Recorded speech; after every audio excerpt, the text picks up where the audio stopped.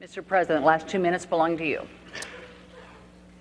Barry, I think a lot uh, of this campaign, maybe over the last four years, has been devoted to this notion that I think government creates jobs, that that somehow is the answer. That's not what I believe. I believe that the free enterprise system is the greatest engine of prosperity the world's ever known. I believe in self-reliance and individual initiative and risk takers being rewarded. But I also believe that everybody should have a fair shot. And everybody should do their fair share. And everybody should play by the same rules. Because that's how our economy has grown. That's how we built the world's greatest middle class.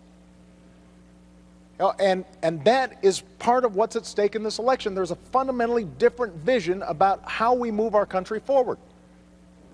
I believe Governor Romney is a good man, loves his family, cares about his faith.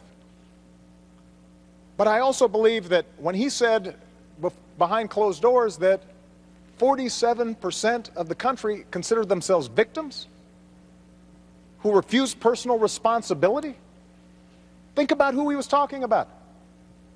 Folks on Social Security who've worked all their lives, veterans who've sacrificed for this country, students who are out there trying to hopefully advance their own dreams, but also this country's dreams.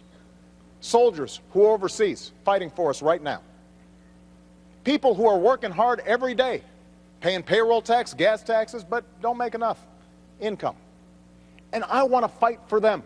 That's what I've been doing for the last four years because if they succeed, I believe the country succeeds. And when my grandfather fought in World War II and he came back and he got a GI Bill and that allowed him to go to college, that wasn't a handout. That was something that advanced the entire country. And I want to make sure that the next generation has those same opportunities. That's why I'm asking for your vote, and that's why I'm asking for another four years.